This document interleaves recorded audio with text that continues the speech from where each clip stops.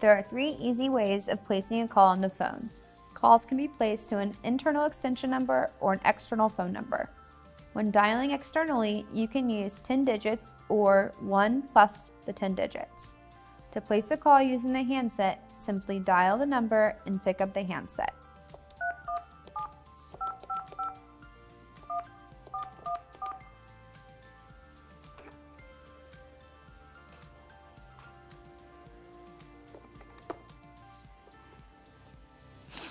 Or pick up the handset and dial the phone number.